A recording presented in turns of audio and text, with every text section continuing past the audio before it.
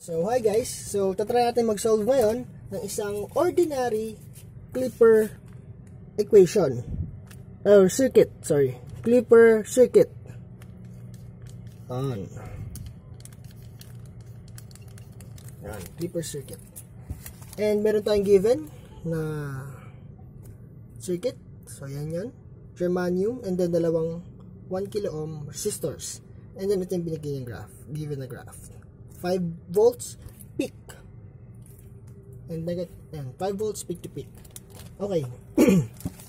try nat um try natin na ang binigay sa inyo or ang hinihingi sa inyo is ang V initial the diode state the given diode state which is the germanium then VO so bakit nalayo ni VO so meron niyang for purpose para hindi tayo malito kung bakit ko nilagay dyan so ito na GE So, GE, alam na natin si GE ay 0.0, 0.3, sorry, 0.3.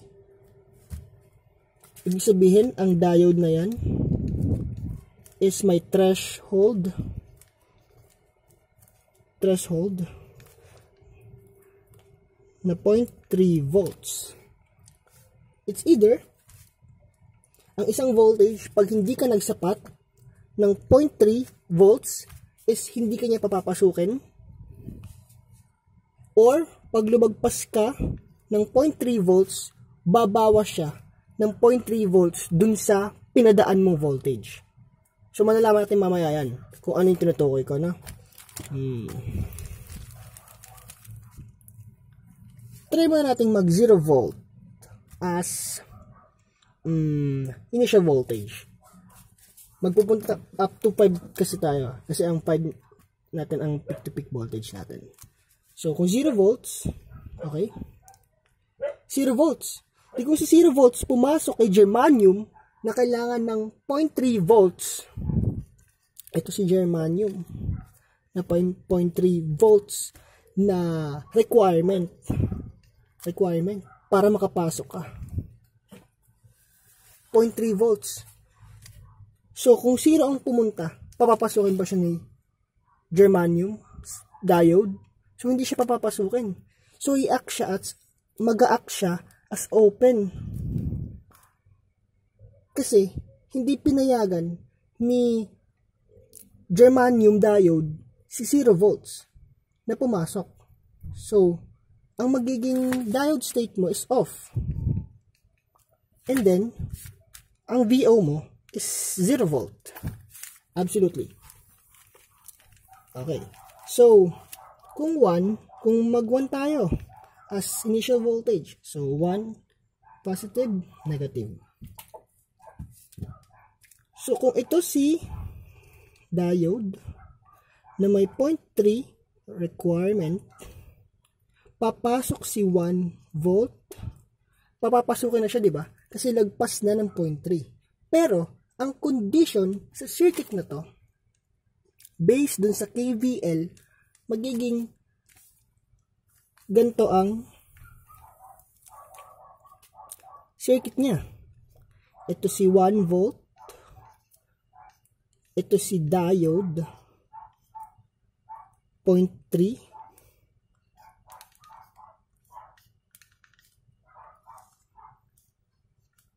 Yan. Ito si 1K. Ito si 1K.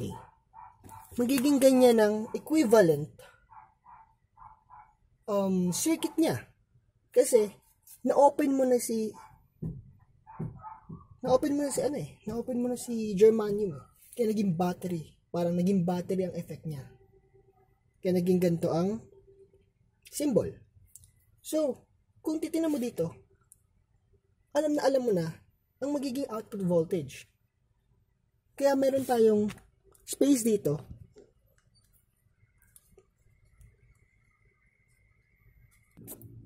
Yan. So, itong space na to is for the formula section. And formula. Para hindi ka malito. So, KVL. Yan. Ganito ang, ganito ang ikot. So, mag-on ng diode mo. Magiging 1. 1. Ito, 1 volt. Gaganon. So, ikot ng clockwise direction. So, ito, positive, negative. Magiging minus 0.3 kasi katulad nga ng condition kanina ito nga ulit si diode. Ah padadaanin kita. Ang 1 volt padadaanin kita. Kasi nakuha mo naman yung requirement ko. Pero kukuha na kita ng 0.3 kasi yun yung requirement ko nga para makadaan ka. So parang toll fee mo yung 0.3 para makadaan ka sa germanium diode. Okay. So kung 1 minus 0.3, magiging sagot mo ay 0.7 volts. So, magiging 0. Okay. Kung 2 volts naman, kung 2 volts, so 2 volts, tendency mag-on kasi positive. Ito yung anode, ito yung cathode. So, magpo-forward bias siya. Kaya mag-act siya as um, battery. Yeah. So, 2 on, So, 2 KVL ulit. Drawing natin ulit. Yan. Positive, negative, 0.3. At si resistor. Resistors na lawa. Okay. 1K, 1K. Okay. Yan. So, si 2 volts. 2 volts, um, ito na. KVL ulit. VO uh, is equals to 2 minus 0.3. So, 2 minus 0.3, uh, para, formula natin, magiging 1.7 siya. Okay. Move natin dito ng konti ha, para magkasya. Dito.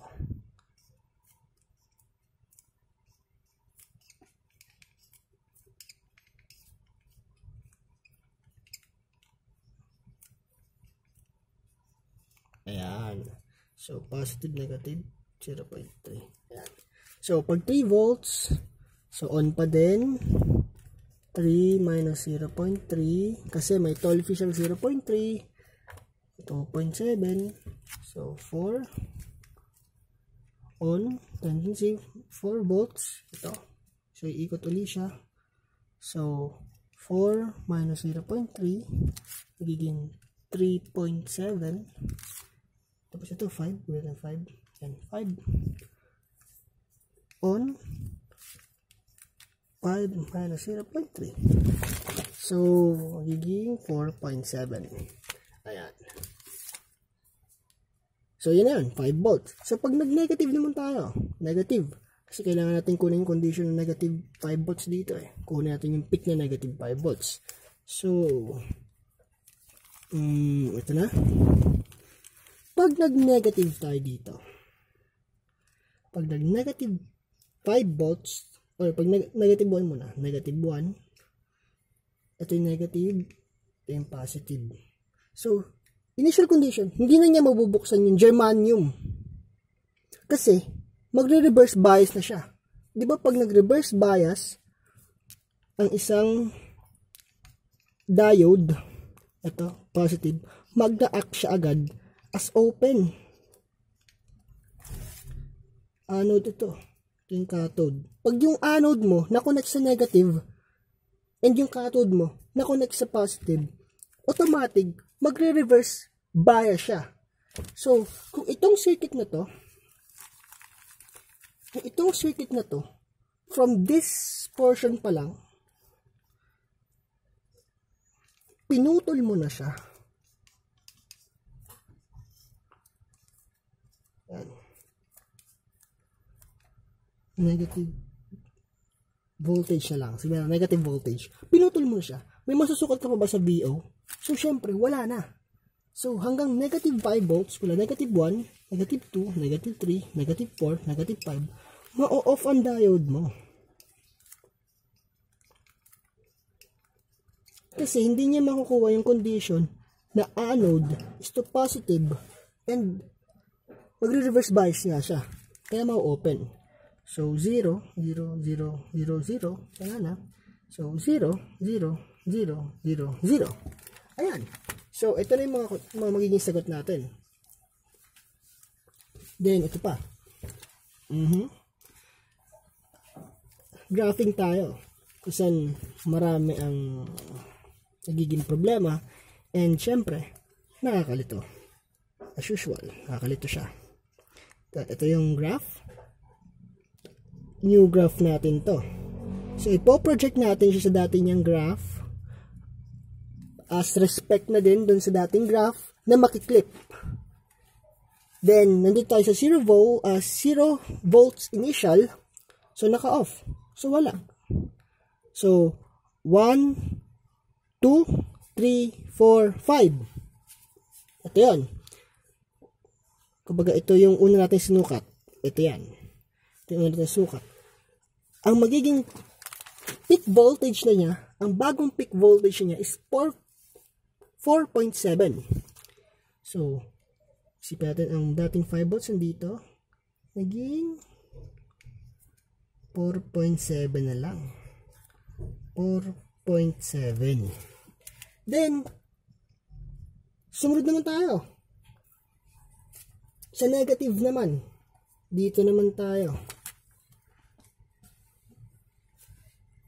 Kung ito, yung part na to, is for the negative portion, negative portion, so, wala. Wala kang makukuhang voltage. Zero. As in, zero ang magiging ano mo. Zero ang magiging value. So, wala. Yan nga. Ano ba ang naklip? So, ito na. Ang problema, kung ano yung tawag. Anong form ng clipper? Of clipper. So, yun yung tanong eh. Malaking tanong eh. Kung anong form ng clipper siya. So, kung ipagkukumpare mo itong dalawang to, ito, saka ito, ano ba nawala? E di yung negative. So, negative, maging pangalan niya is negative clipper or negative series. Sorry for that. Series. Kasi naka-series siya eh. Series clipper. Ayan. Yan magiging tawag doon sa circuit.